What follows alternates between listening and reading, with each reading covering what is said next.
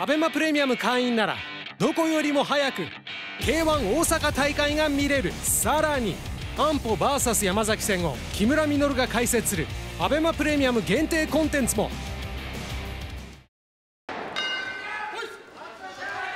さあ第1ラウンドのゴングが鳴らされています。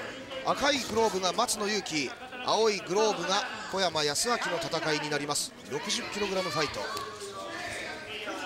追いかけてパンチ蹴りとつなげていく松野に対して距離を取って左リードジャブ長いのが小山です。さあこの2人はリーチもありますしコンパスも恵まれていますよね。そうですね。あのーその中でも小山選手はすごくパンチも蹴りもまんべんなくできてテクニシャンで、はい、逆に松野選手はあのー、しっかりガードを上げて手数とタフさで前に出て相手を倒すっていうそういうこうちょっとタイプが違う同士の試合になってると思います、ね、はい。そうですね。体型の共通項はありますけれども、はい、戦法は違うという2人。この距離の取り方などもそれが現れているようですね。そうですね。どちらかというと松野選手は距離を潰してあのどんどん手数を出したいんじゃないですかね。はい。ここもバックブローになります。詰めて詰めてというところだったんですねですね。逆に小山選手としては自分の距離を取って、はい、そこからパンチとローでちょちょっとずつ切り崩していきたいというところじゃないですかね。あ今も距離を嫌ったんでしょうか、はい、離れましたね。左フック。青いトランクスが小山です。前蹴りもある。前蹴りを返してパンチ松野。にじり寄って右アッパー。さらに右のハイキックです。松野のガードはここまでではだいぶ高いようですね。そうですねただやっぱりブロックが基本的なディフェンスになるので、はい、小山選手のパンチからのローだったりその顔面のパンチからのボディっていうその次の攻撃が当たっているところはちょっと気になりますね。なるほどね。この試合の中でその先進化系を見せていかなければいけないですね。すね。はい、左のパンチで突き放す小山左膝松野。残り1分になります。第1ラウンドですこれが7戦目の松野。8戦目の小山。ここまで4勝している松野。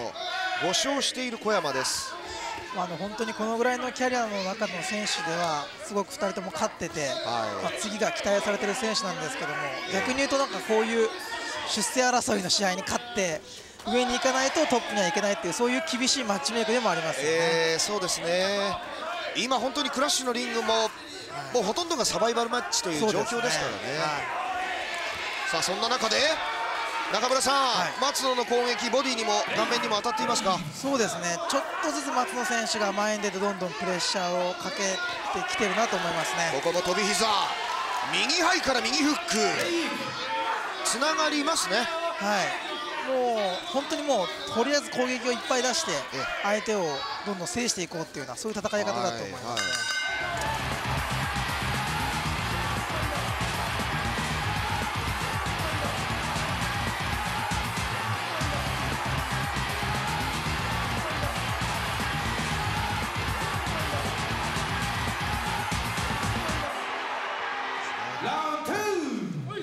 さあ戦いは中盤の第2ラウンドになります。状態を揺らして入ろうとする赤いグローブ松野。距離を取ってからその後青いグローブ青いトランクスの小山です。左のミドルキックには右のストレート。松野のパンチ。さあ第1ラウンド後半松野がやや流れをつかみました。これ小山は今どうにかしたいんですね？そうですね。ただあの小山選手のパンチのテクニックもすごくうまいので、はい、あの下がらずに逆に打ち合ってその中で勝機をつかんでもいいんじゃないかと思いますね。なるほど、はい、一つ賭けに出る局面が。そうですね、はい、あの松野選手みたいなタイプのスタイルはやっぱ1回乗せちゃうとそのままもずっと3ラウンドまでいってしまうと思うので、ええ、それはやっぱどっかで立ち切らないと、はい、あのダメですね。そうですね。前進あるのみにさせてしまいますよね、はい、小山の方は元学生キック王者そして新空手のフィールド K2 への挑戦もありました。ここでブレイク。あ早めのブレイクが命じられたんですけれども中村さん今タイムストップですね。そうですね。ちょっとクリンチが多いということで、はい、ちょっと距離が詰まってしまっているっていうのを表してるんじゃないですかね。となるとこれ小山の方がちょっと苦しんでいるというところですか？ただあのこの左の前蹴りとあの押してからの攻撃がすごく小山選手いいので、えー、距離が詰まってもあのそういうこう自分の距離をもう一回作れば攻撃は当たると思いますね、はい、右アッパー。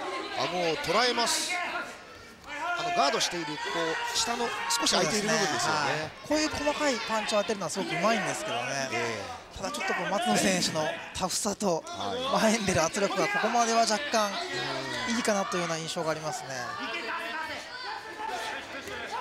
NPO ジェファ勢といえば今日は広野優選手そして青津純平選手が出陣しますがその先方角今度はその松野に、はいえーはり同じような注意だったようですね、はい。まあ、ややお互いちょっと手が止まって、はい、組みが多くなったかなと思ったんですけどね。ここはパンチ合戦になっています。こうした場面になっても先ほどの中村さんのお話がありますけれどもやっぱりどう切り開いていくかですよね。そうですね。あ今小山選手右入りましたね。パンチが捉えている連打。ここは小山選手一気に攻めて、ええ、もう倒すぐらいのつもりでいった方がいいんじゃないですか、はい、完全に足は止まっていますね、はい、明らかに効いたんで、えー、ここは勝負どころですよ小山選手は。一瞬時間が止まったようになりました。松野のモーション。小山はこれをさらに自分のものにしたいが飛び膝左が当たったか。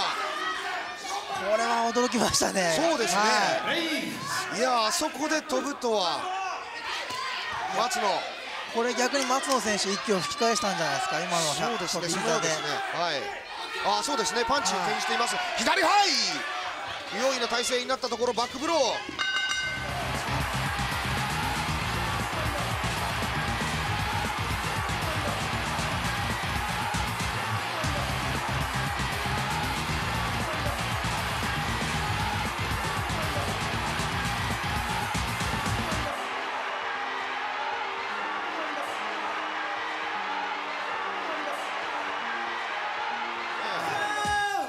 さあラストラウンドとコールされています。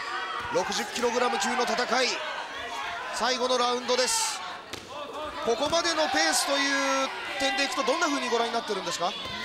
まあ、効果的なパンチ明らかに効いたという攻撃があったのは小山選手の方だと思うんですけども、まあ、松野選手もああいう飛び膝みたいなこう、隠れ技がまだあるのでちょっと分からないですね。最後どういう大伝返しがあるのかとかそういう波乱もありそうな気もしますね。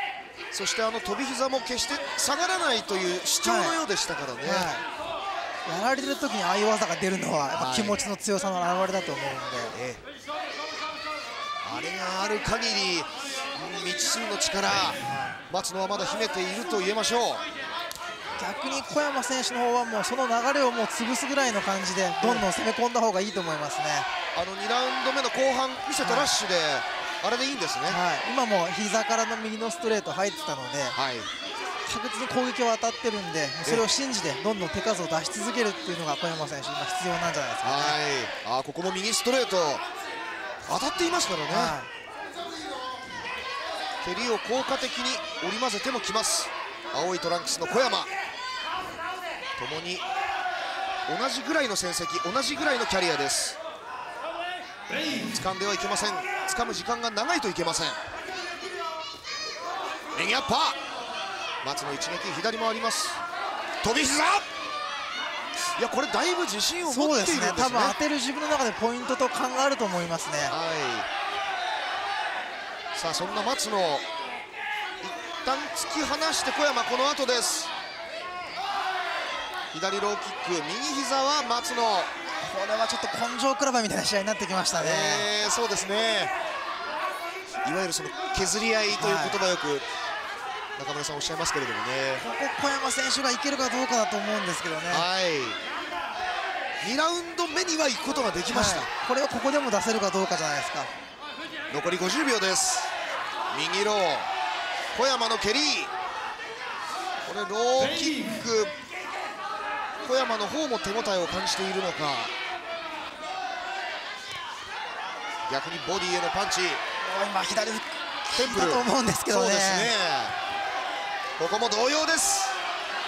いや蹴りからパンチがやっぱり小山もつながるんですよね、はい、松野選手も倒れないんで、えー、タフなファイターです。ここも前に出て飛び膝